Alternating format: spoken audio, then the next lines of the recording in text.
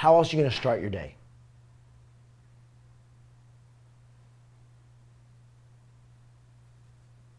As a receptacle for shit or as a creator?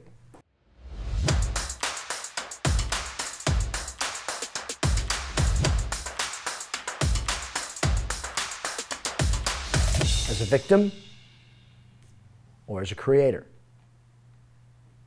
So, this is where, and, and from this is where the fire zone came for me, was I realized if I can start my day powerfully, and I had a lot of mentors and a lot of influences that helped me do this, where you have um, uh, guys like Robin Sharma that created what he calls the 5 a.m. club.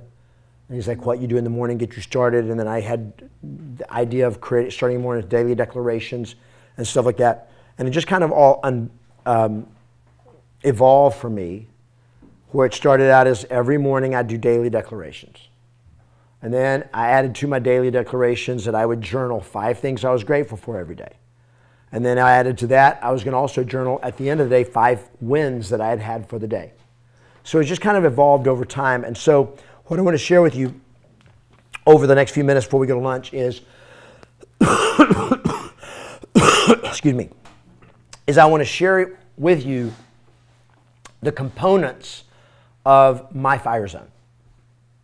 Okay? Now some of you have been through this before. I know I know my long-term members have been through this. But my, my, my fire zone morning ritual, I call it my daily eights.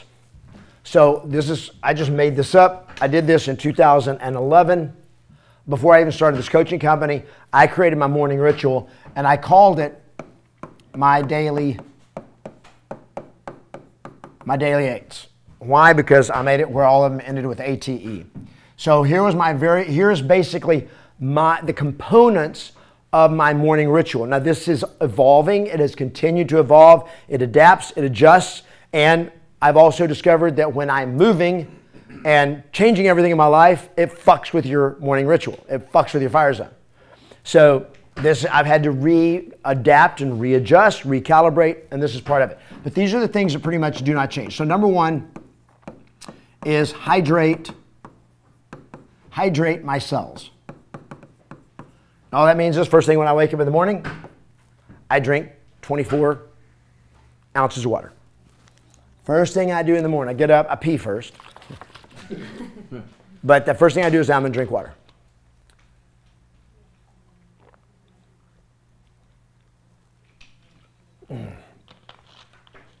And what I discovered, and I think it was from the guy, who is the guy that wrote the book Perfect Health? Does anybody know? He's an Eastern guy, like Eastern.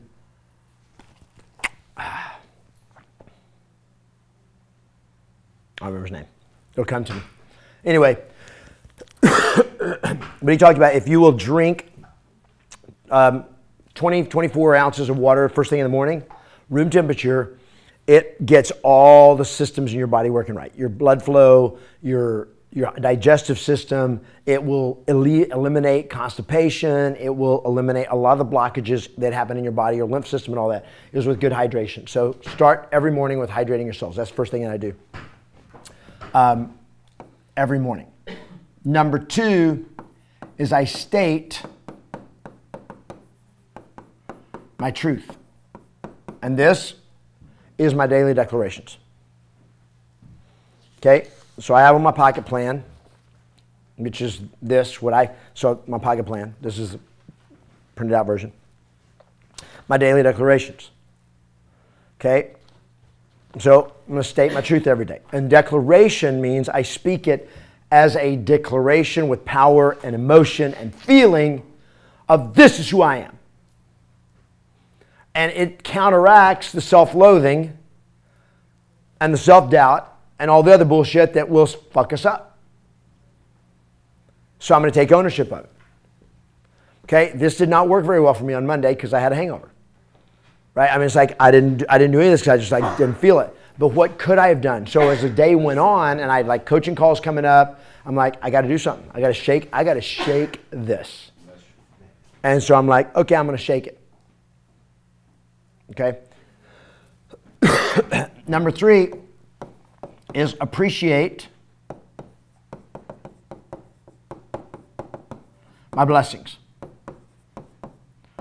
Now, I want everybody just to look in your, you, if you guys have the master's journal here, grab your master's journal. If you guys that are not here, you may or may not have one. If you have one and you got it close by, you can pull it out. If you don't, don't worry about it. So open up your master's journal just to a blank, just to a page in your master's journal to, to the blank pages where you guys are taking notes. If you notice, it is broken down into pieces. And what is the first piece of it? The very top, uh, top left. Grats. What is it? Grats. It's your grats. So what are my grats? This is my appreciation. This is this is my this is my third thing. Appreciate your blessings. It's five things I'm grateful for. So I, this in the in the master's journal became my grats. Okay, appreciate um, appreciate your blessings. Okay, next is create my future. Create my future. Now I do that in two things. There are two pieces to this. One is I visualize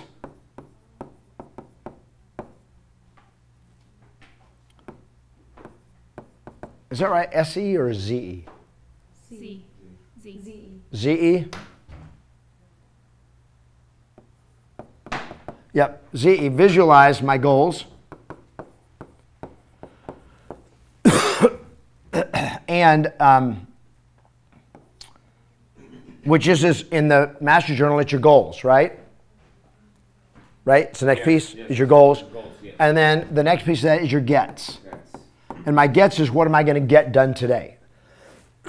so this would be, a lot of people call this your to-do list. Okay? So I'm going to create my future by saying, okay, here's what I want. I'm going to visualize my goals.